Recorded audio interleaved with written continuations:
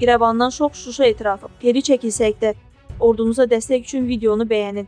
Erməni dığaları bu cür videolara dislike atır. Ermənistan Müdafiə Nazirliyinin rəsmisi Arturun Avanisyan Azərbaycan ordusunun Şuşa istiqamətində uğurlarını etiraf etmək məcburiyyətində qalıb.